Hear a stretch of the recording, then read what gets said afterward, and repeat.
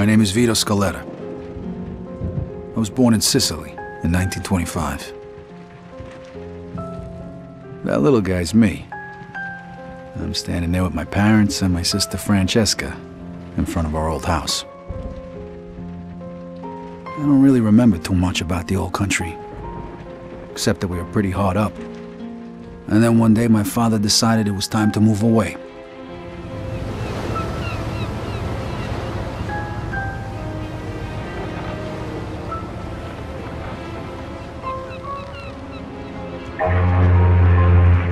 Away from Sicily, across the ocean, to start a new life in America.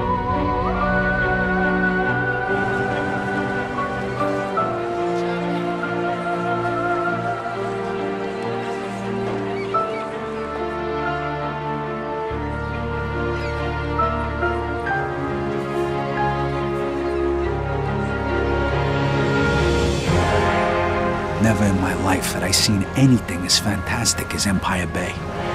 It was beautiful.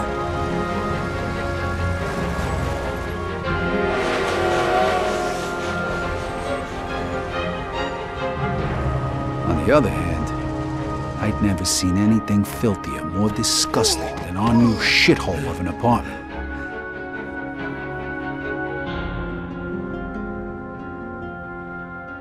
The American dream was more like a nightmare. My father started working at the port for the guy who arranged our immigration. It was backbreaking work, and what little money he made mostly went towards booze. Eventually, my parents sent me to school. I had to learn English. I sure as hell wasn't gonna do that in a neighborhood full of Italians. That's where I met Joe. Come on, Vito, hurry it up. We ain't got all night. Over time, Joe and I got to be best friends. And since we were both poor and there wasn't much work around, oh shit, we started a little business of our own. Freeze! Police! Stop! Vito, this way! Throw me to bed! Stop! I'm shoot! Shit. Okay, you bastard. Spread your legs. Fuck. Now put your hands on the fence. I'm sorry. Well, that one time it didn't work out so good. The year was 1943. America was at war, and the army was looking for guys who spoke the language to help with the invasion of Sicily. I was 18, and anything seemed better than jail. Who says you can't go home again? Operation Husky. I was assigned to the 504th Parachute Infantry. On the 11th of July, we were supposed to be dropped over the southern coast of Sicily, we got hit by flak and had to bail out, way behind enemy lines. Only three of us made it. If it wasn't for the local resistance, we wouldn't have had a chance. So when Mussolini soldiers came into the town and started rounding everybody up, we decided to return the favor.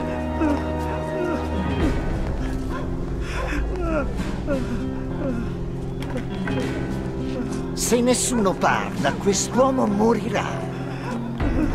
Eh? No, Eh?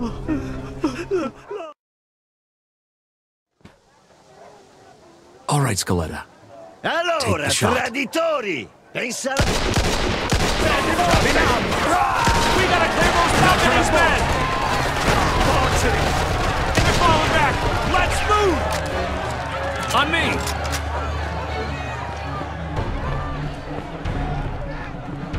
Shit! Gesù!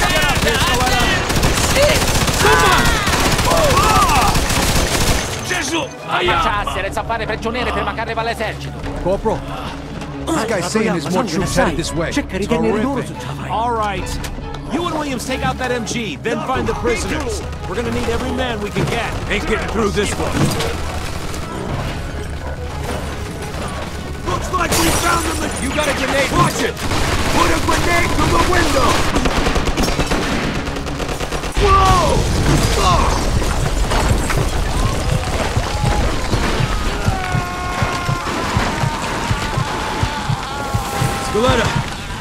alive? Yeah, just about. Well, then get off your ass and let's move it. Grab all the Whoa. ammo you can oh. carry. This might Whoa. be our last chance.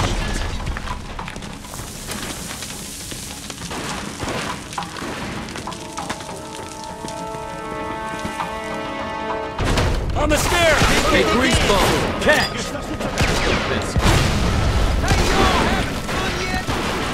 Must have the prisoners upstairs. Clear the second floor. Scaletta, you take point. Ammazzo tutti! Got him. Arrenditi o gli faccio saltare il sangue!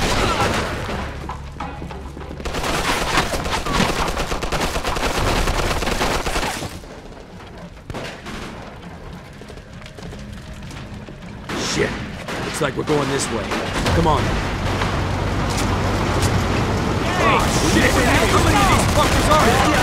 What the hell does it look like I'm doing? More shooting, less talking. Hey, line by me, asshole! Shit! This balcony isn't gonna work! We gotta keep moving! Get inside! Get inside, Scaletta! Get this guy out there!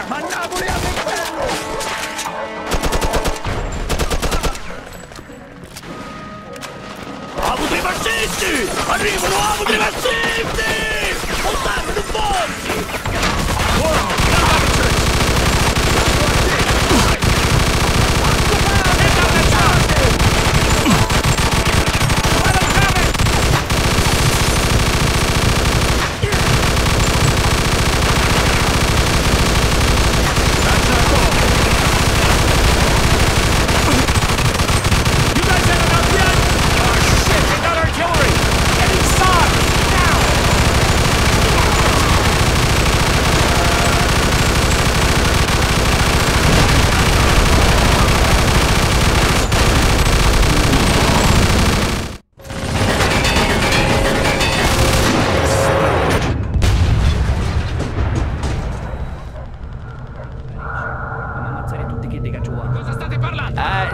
amico di stare attento. Fregatene di fare attenzione, fai ciò che ti è stato detto!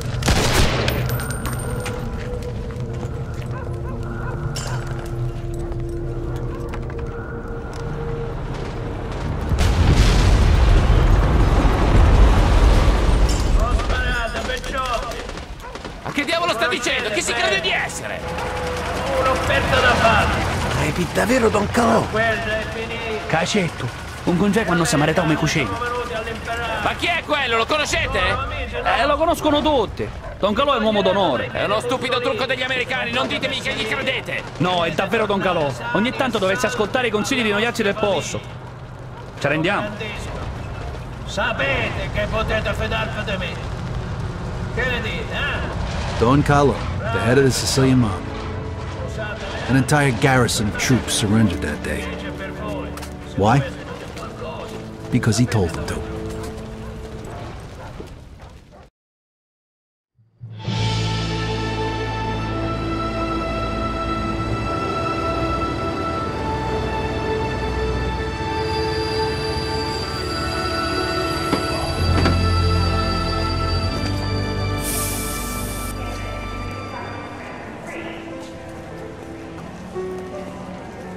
A few years later, the Nazis put a bullet in. I was in the hospital for a bit. Then I got a month's leave so I could go home. At least for a little while.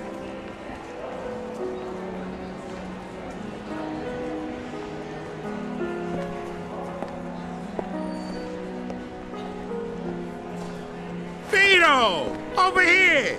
Joe! Hey! Welcome home, buddy. How'd you know? I got my sources. Come on, let's take a ride. Nice car. Comes with the territory. I know you're itching to get home, but first, let's get a beer. Yeah, sure.